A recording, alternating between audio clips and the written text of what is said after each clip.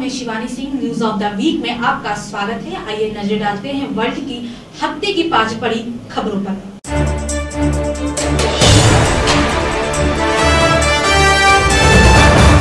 सबसे पहले बात करते हैं अमेरिका और चीन के बीच के रिश्तों को लेकर। जी हाँ इस हफ़्ते अमेरिका और चीन के रिश्तों में काफ़ी तलखियाँ नज़र आई।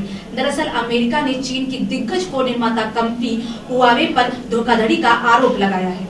मीडिया रिपोर्ट के अनुसार अमेरिका ने हुआवे पर गुप्त जानकारी लीक करने का आरोप लगाया था। वहीं इससे पहले हुआवे की सीएफओ को कनाडा से गिरफ़्तार किया गया था। बता दें कि इस मामले से चीन, अमेरिका और कनाडा के रिश्ते बुरी तरह प्रभावित हुए हैं। हालाँकि हुआवे और उसकी सीएफओ ने अमेरिका द्वारा लगाए गए आरोपों से इनकार किया है। वहीं इस मामले में चीन ने प्रतिक्रिया देते हुए इसे अनुचित कदम करार दिया। वहीं अमेरिका के मध्य पश्चिमी इलाके के लोग इस हफ़्ते हार कपा देने वाली ठंड से काफ़ी परेशान हैं। इस ठंड ने अब तक 29 लोगों की जान ले ली है बता दें कि जान लेने वाली इस ठंड को पोलर वर्केट के नाम से जाना जाता है, एक अमेरिकी अखबार की रिपोर्ट के अनुसार पोलर वर्टेक्स इस हफ़्ते यहाँ पहुँचा और इसने पूरे क्षेत्र के जनजीवन को बुरी तरह प्रभावित कर दिया है। अमेरिकी अधिकारियों के अनुसार मृतकों में यूनिवर्सिटी ऑफ़ आयोवा का एक छात्र भी शामिल है। वहीं मिल्कोवी शहर स्थित एक अपार्टमेंट में घर को गर्म कर रखने वाली मशीन में खराबी आने की वजह से एक महिला की भी मौत हो गई। वहीं इसके अलावा न्यूयॉर्क के बफेलो में भी एक शख्स की बर्फ़ फटने के कारण मौत हो गई। यहाँ जेल में बंद कैदी भी पोलर वर्टेक्स की चपेट में आने से बुरी तरह प्रभावित है। वे भी मदद की गुहार लगा रहे हैं। वहीं इस हफ़्ते भारत ने संयुक्त राष्ट्र सुरक्षा परिषद में आई, खामियों के सुधार की आवाज़ उठाई। भारत ने इसके लिए नए रास्तों को तलाशने की बात कही। भारत ने सुरक्षा परिषद में सुधार की धीमी गति से नाराज़गी ज़ाहिर करते हुए सदस्य देशों से मामले को विश्वसनीय तरीके से निपटाने की बात की और वैकल्पिक रास्ता तलाशने का आह्वान किया।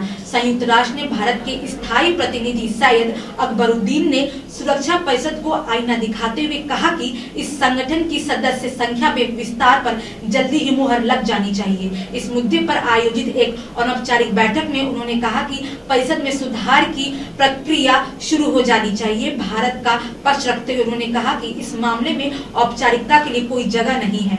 आपको बता दें कि सुरक्षा परिषद में सुधार के लिए चर्चा की शुरुआत सन 2018 में ही हुई थी, लेकिन 10 साल से ज़्यादा समय निकल जाने के बाद भी अब तक इस मामले में कोई ठोस कदम नहीं उठाया गया है।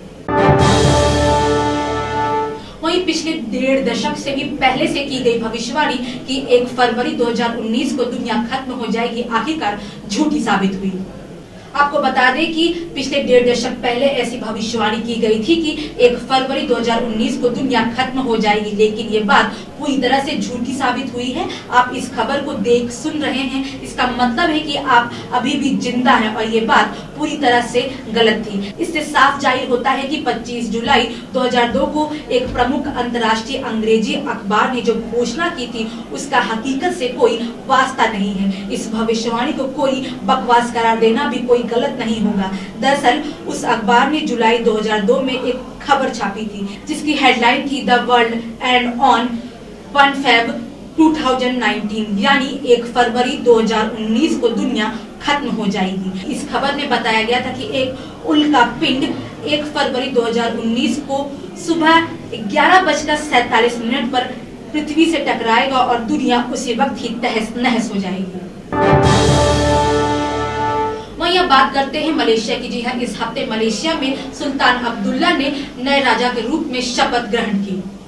पिछले राजा के पद त्याग करने के बाद बीते गुरुवार को नए राजा सुल्तान अब्दुल्ला ने पदभार संभाला। बता दें कि पूर्व मिस मॉस्को से शादी करने के बाद अब्दुल्ला मोहम्मद पंचम ने पद छोड़ दिया था।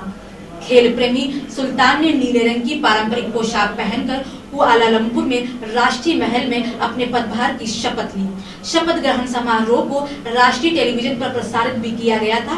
इस समारोह में प्रधानमंत्री महातीर मोहम्मद समेत सैकड़ों मेहमान शामिल हुए। राजा के तौर पर शपथ लेने से पहले मध्य प्रांत के अनौपचारिक शासक सुल्तान का राष्ट्रीय संसद में स्वागत किया गया। उन्होंने इस दौरान सलामी गारद का निरीक्षण भी किया। तो ये थी वर्ल्ड की इस हफ़्ते की पाँच बड़ी खबरें। ऐसी ही तमाम छोटी बड़ी खबरों के लिए जुड़े रहिए पत्रिका के साथ। नमस्कार।